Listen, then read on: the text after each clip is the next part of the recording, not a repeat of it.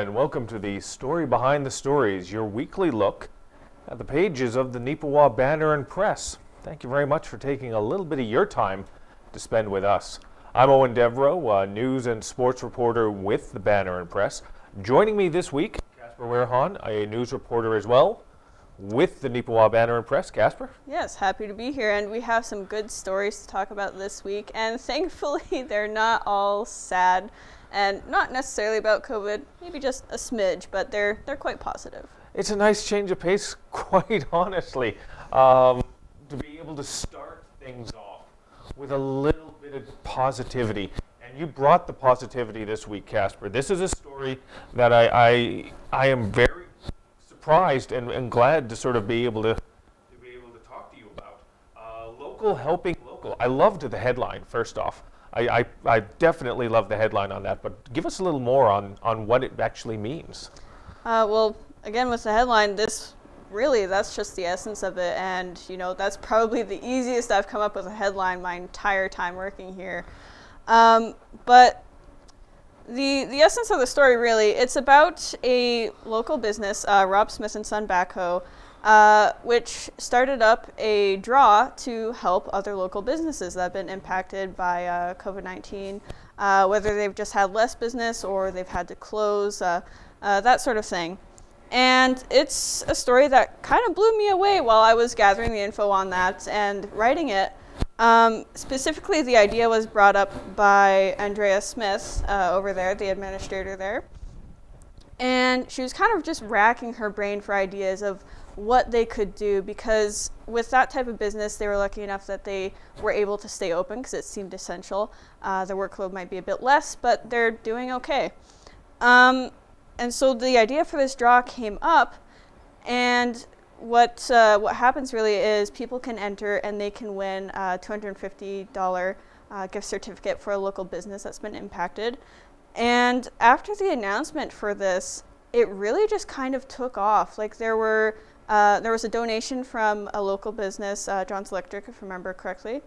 Uh, and after that, donations just kept pouring in. So they raised two, uh, $10,250 for this draw. So doing like seven draws each week for this. Like that's the thing that really blew me away is like you hear these types of stories it's like, oh, that's nice. They'll be able to bring in a couple bucks.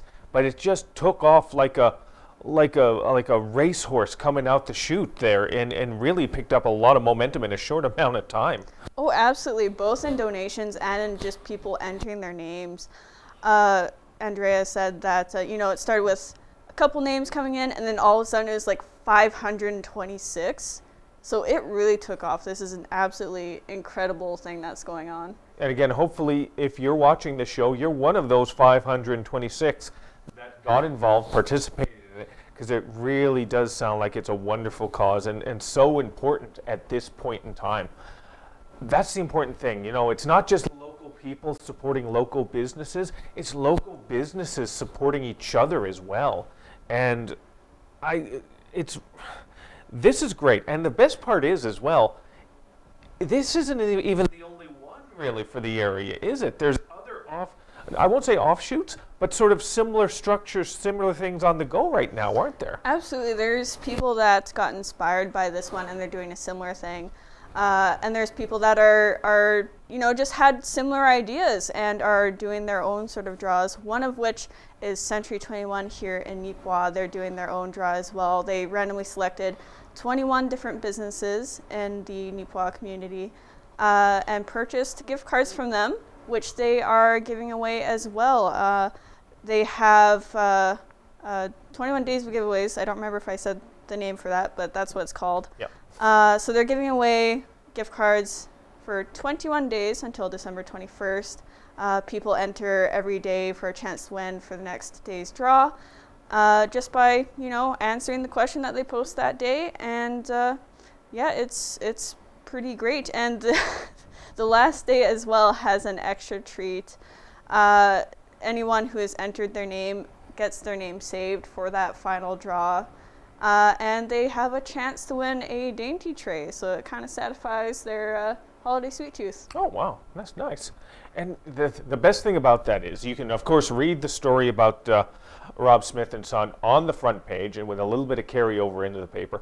The Century 21 is a separate story unto itself as well that you can find on page 12 of this week's edition of the Banner and Press. And there were other ones as well that we were also chasing down, but just sort of little bits and pieces. You, you, if I remember right, you shared a little snippet of, of one or two of the other ones, right? Uh, at the end of one of the stories, was it? Uh, I believe so. Yeah. yeah. Uh, I think that was with the Rob Smith and Son one. Right. Uh, John's Electric was one of the ones that uh, was inspired by the Rob Smith and Son uh, initiative and sort of took up doing their own. Uh, and as well, I just want to stress that these two are just a couple of the initiatives that we saw in the area. So please do keep a lookout at your local businesses, wherever you may be see what they're doing and support it. And quite honestly, as well, if you're one of these businesses that is doing something, or you're affiliated with them, or you're just a customer, give us a shout out. We would love to. You know, sometimes we're a little iffy about writing stories because it can turn into a bit of a commercial, but this is an example of it where we don't mind. I don't mind this at all. Casper did a tremendous job on sort of encapsulating what they're trying to do and going beyond themselves we love spotlighting these types of things. So if you know of any businesses, not just in Neepawa, but in our, our entire region, Carberry, Gladstone, Minnedosa, wherever it may be, get in touch with us. We'd love to put the spotlight on there and help out in any way, shape, or form. Because, and again, it helps us out as well. Because this time of year, um, everybody starts to shut down a little bit, even at the best of times during Christmas. So chasing down stories and all that gets a little difficult. So, you know, because uh, otherwise I'm just going to be staring at the walls. And I already do enough of that at home after work. So I'd like to be able to be a little productive at, at the job. So get in touch with us if you have any leads or any suggestions. We'd love to, to follow up and, and put the spotlight out there where it's richly deserved. Let's shift over and uh, talk a little bit about uh, this week, another guest column. Last week, uh, Mike Waddell, uh, Ken and Christine Waddell's uh, son, did a guest column because Ken was in the hospital getting some surgery done. This week, it is Christine Waddell who did a special feature. Um, I won't delve too much into it, just to give you a little bit of background, just a touch. Ken had a slight complication Nothing serious, nothing, nothing to be extremely worried about, but a little bit of complications. Had to go back into the hospital. He's, he's as we record right now, he's back in the back right now. He's already telling us stories. We're trying to pay attention. We're, we're trying our best, uh, but he's already back to back to Ken mode, for better or worse. Uh, so that's that's wonderful to see, quite honestly. But um, Christine explains to a degree and, and she does say in there as well that this is Ken's story to tell. So whether he does or doesn't, it's up to him. But she, she sort of shares her experiences as, um, as a, a person, sort of a loved one, watching as another loved one tries to deal with the situation that they're in in this time of, of COVID and of fear. So, um, very appreciative of Christine on giving us that type of perspective. And, and that was sort of the takeaways I took from it. What, what, what takeaways, what did you take from that, Casper? Um, honestly, not a whole lot different than, uh, than yours myself. Um, it was, you know, it's definitely something that uh, uh, wasn't a fun time for Ken, uh, but it's good to see him back in the office, that he's doing well. Uh, you know, still in recovery mode, you know, there's some tiredness after that, of course. It's only natural. You know, you're recovering from a surgery and, you know, anything else he had to deal with. Uh, but he's doing good. So that's, that's really nice to see. And, uh, you know, joking mood, of course, the first time he had to get tested for, for COVID because that's just, you know, standard procedure in the hospital. Yep. Uh, Christine sent us a, a sort of lighthearted message there saying, don't worry, he's negative. Yeah. and the thing is, though, uh, four tests right now he's, he's taken. And oh God, just when it's explained to you, you wouldn't even want to go through something like that once if you could avoid it. But going through four over like a two week period, it's like, ah, oh, God. Oh, Yeah, it's certainly something I hope I never have to do yeah. because uh, no, I, I don't want a cotton swab reaching through my nose to Yeah. scratch my brain. Scratch the back of my, my brain. See what's back there. Yeah. Nothing but dust. um, it, it- actually, it brings up a very good point. Um, I, I don't normally do this with letters, but I wanted to spotlight a letter we had this week. Uh, a gentleman who sent it in, Alfred uh, Isaac from Birnie. Uh, and, and I do apologize. To, maybe I shouldn't have shared the name. Uh, maybe, but but it's in the it's in the paper. It's published in the paper. Read the letter. The gentleman does take the time to explain the situation. He had to deal with uh, uh, situation with COVID, and he walks us through it. We we we don't really know because we don't we don't experience it. A lot of us haven't experienced the situation with COVID. He walks us through everything here, and it's very, it's it's an eye opener, quite honestly. So, like I said, I don't normally spotlight letters, but this one, I hope, I sincerely hope you will read it and take something away from it. And we very much thank Mr. Isaac for for submitting it. Um, very appreciative. There are other letters in here, and I, I, I don't mean to disrespect the other letters because they were great. There's a couple other letters in there, but this is one of those one-offs that maybe, you know, definitely, you know, turn your attention to when you have the opportunity. Speaking of turning attention, let's turn attention over to uh, some construction work going on. Even though a lot of things in Neepawa and in Manitoba are closed uh, due to being deemed non essential, construction uh, is essential. And uh, construction is ongoing for Kinsman Courts 2.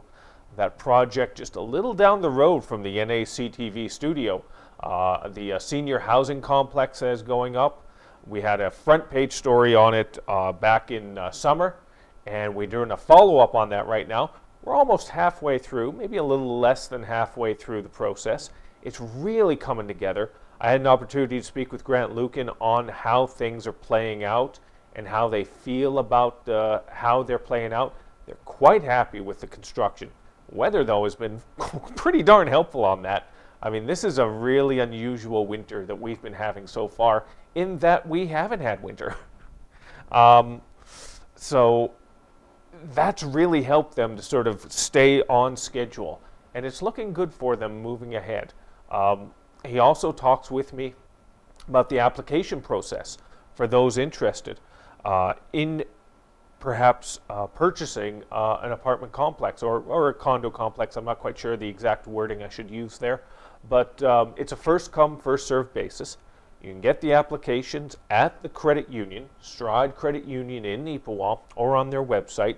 And he did say, you know what, we're we're going to do this from a first come, first serve. If you put in your application today, and somebody puts in an application tomorrow, you will be getting the first phone call, and you will be getting the first interview. See if you're interested, and and it's it's something that is needed for Neepawa and the surrounding area. 48 suites.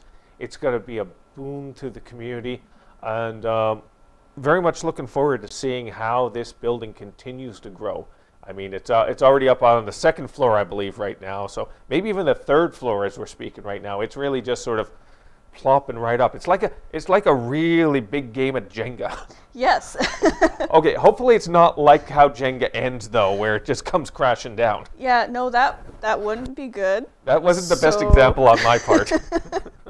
It's fitting together like that. It won't turn out like that. exactly, exactly. No, it's uh, it, it is good to see some of that work going on. So you can see that story that starts on page two, continues on to another page. I don't remember the number right now, but once you pick up your hard copy of the Banner and Press, you know you can flip through and you'll be able to find it for yourself. It's in there somewhere. I I really don't want to go into this one. We talk about COVID 19 every single week, but I think maybe, Casper, maybe we do need to talk about it for a few minutes because there are some new revelations and there are some new details about what's happening in the province. Uh, on the front page, just on the side there, we have an update on the uh, restrictions for COVID 19. Um, the restrictions we've been dealing with for the past four weeks, we will be dealing with for another four weeks. That's the reality of it. Um, that means Christmas, as we know it, for a lot of us, is not going to be the same this year. Um, Casper, in terms of how this affects your family, your friends, whatnot, how? Let me get your perspective. How does this sort of? What does this mean for you and your family? Uh, well, for me and my family, we occasionally do go to Saskatchewan. We have a lot of family out there uh, on my dad's side. Uh, I mean, we were invited to go out there this year, but of course, you know, for safety's sake, we, we did refuse. But of course, we can't do that now anyway. Um, so we're we're affected in that sense, but uh, most of the time we do just stay at the house. So I think we're going to be fine. Um, we only have one of my siblings that's not in the household, so I don't think that she'll be able to visit. But for the most part, we're I think we're going to be okay.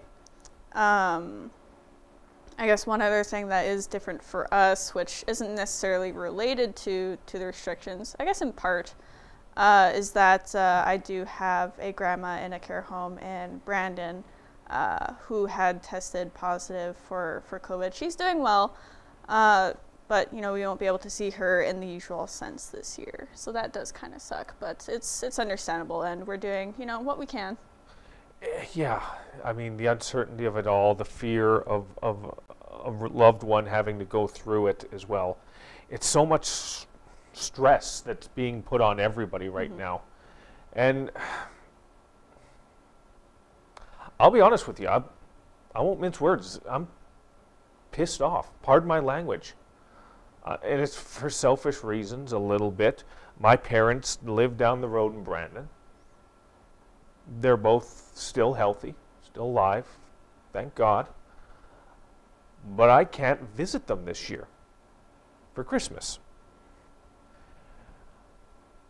And that does tick me off. Last year, the entire family was together parents, my brother, sister in law, the kids. We were all together. It was the first Christmas in several years because they live in the United States on the West Coast, so it's it's a little harder to see everybody at Christmas. And they were able to celebrate that, and they loved it. You know, we're Irish, so we don't acknowledge these types of things. We don't Irish, for the most part, just sort of keep it in. But you could tell, you could really tell, it meant something to them. And this year, They can't even see me. And that pisses me off. I'm but I understand the reasoning behind it. I understand the rationale behind it. And again, my father and mother raised me to follow the rules, to, to always try to do the right thing. So I could very easily just skirt the rules. I could very easily just drive down the Brandon and just you know, at dusk or dawn when things are dark, just knock on the door, walk in there, and just. But we're not going to do that because it's the right thing to do. Because following the rules on this situation um, is what we need to do. So we're going to give up Christmas now. So we can have Christmas next year, and the year before, and hopefully the year before, or the year after, and the year after that. And I sincerely hope that you are going to do the same. I'm sacrificing and I don't like it. I'm being selfless right now so I can be selfish next year. And I hope all of you have that same mindset moving forward. You know, I'm all right, I'm going to get off my I'm to get off my soapbox right now. So, but that's that's the update from the province. We also have some other information from the province in regard to the situation with COVID 19. They're putting more money into care home costs, which is a good idea. I mean, it's been so expensive for all the care homes in Manitoba to have to deal with COVID 19 this year. We also got some numbers here in terms of the enforcement fines and the numbers of COVID cases in Prairie Mountain Health, our region. We were talking about this in the back. Uh, Kira yourself, myself, Diane the other day about how the numbers for Prairie Mountain Health just consistently seem to be dropping off, and that's a that's a very positive sign, I think, don't you? Absolutely. It's a very good thing to see because uh, we were looking back at the numbers. It's like, I remember when we were freaking out about this number, and compared to now, like, of course, you know, it's a serious thing uh, and we don't take it lightly, but it'd be like one, five, you know, six, and now like it was like 500 or almost 600 and now seeing that number yeah. come down as big as it still is and you know those numbers are people it's not just numbers yeah. it is a relief to see them coming down ever so slowly but surely as of as of yesterday as of recording right now and these numbers are fluid they will change but 194 active cases in the prairie mountain health region and it is a huge region it's from swan river all the way down to the us border so th- the fact that we have reached that point is very positive it's because we as a collective have been trying to do the right thing and that's very commendable and hopefully, this next week's show we'll be able to say, oh, it's eight. You know, we got eight left, you know, or something like that. Um, and again, for Whitemud, which is Neepawa proper and some of the surrounding area, we got only three right now, three active cases. So even though the restrictions are a little difficult to deal with, I think they're working.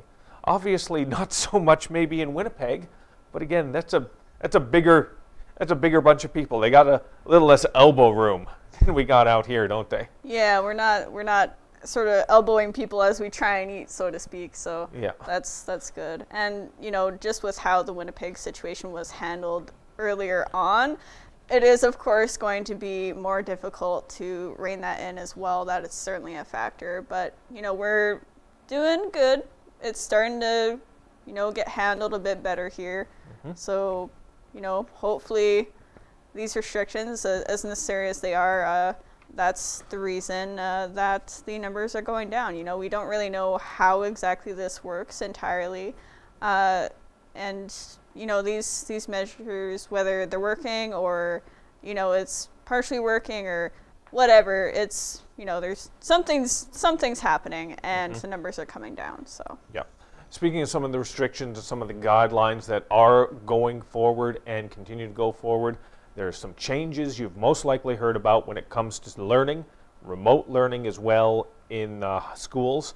Uh, Kira Patterson did a story on that, uh, outlining exactly how the school divisions are going to be dealing with the remote learning once it comes into effect in January. I mean, this is some changes, uh, but they've had to deal with it before. They were dealing with something very similar in the spring so a lot of the divisions, our local divisions, say that they are feeling confident about being able to handle it. Let, let me let, let, me ask you your opinion on that. Uh, I, I don't have any kids, but I I've heard from people who have kids that they're a little antsy, but they're feeling optimistic still. What what about you? What is your takeaway on? Do you think they'll be able to handle the job of remote learning? Um, second go around, I believe so. Uh, they did pretty good uh, uh, from what I remember the first go around. They know a bit more now, uh, and they've clearly been thinking about it, so I think they'll be pretty well prepared for that. Uh, they'll know how to sort of fix any kinks that they might have come across before a bit easier now. Um, you know, it's personally for me, it's good to see that they are pursuing remote learning again uh, just because it helps decrease the risk of uh, COVID exposures in the school. Uh, I know it's not the best option for, for some people, and it is hard to have your kids at home when you're supposed to be trying to work, but hopefully for the most part it's you know kids at ages that uh, they are able to easily stay home because you know they know how to take care of themselves uh, if they need to um, yeah, I just I can only really hope that uh, that turns out well. Mm-hmm. Now, if you want a little more information on that, Kira definitely goes in depth and discusses that uh, some of the perspective on that. You can find that on page 13 of this week's edition of the Banner and Press. It's a very good write-up, sort of explains how it's going to play out. Lights, light up Neepawa, lights up Neepawa, Neepawa lighten up. it's all these things and none all at once. But you got some details on a very special thing that's uh, that's trying to take place. Talk to us about Light Up Neepawa, Casper.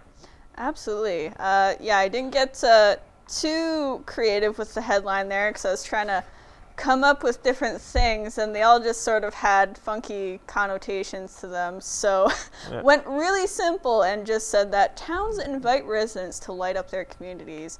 Uh, first want to start off off the bat there, uh, as Neepawa mentioned, or as Neepawa mentioned, as Eoin mentioned, sorry, uh, is Light Up Neepawa.